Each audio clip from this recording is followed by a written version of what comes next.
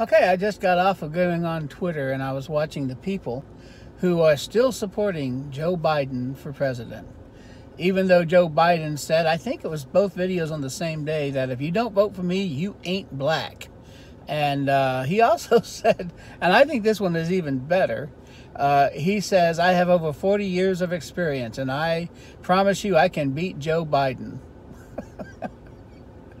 I mean, honestly, how can anybody seriously look at this poor demented old fella and and seriously consider him to be the leader of the free world, the most powerful office on planet Earth, and you actually want him, this guy, this guy, Joe Biden, to be the to be that guy? Are you really serious? I, I mean, are you actually thinking this is a good choice? I do. I don't understand anybody who can honestly and seriously say that that they would support a guy like this to be the president of the United States. Uh, the poor man is obviously demented. He's diminished capacity.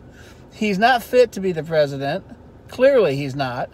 But he's diminished. He has an excuse. You know, he's been around a while and his mind isn't clicking like it used to be. But uh, if you vote for him, you're the stupid one. Honestly, if you can look at this guy, look into his empty eyes, and say, oh, that's a good man for the presidency of the United States, you're the one that I'm afraid is stupid. Come on, guys, let's get real. All right? President Trump has done a great job. He's brought back the economy, and he's going to do it again. He's protected hundreds of thousands of lives by being active and being uh, being proactive, not reactive. Um, you know, just let's be honest for a second. You know that Joe Biden couldn't be the guy. Have a good day.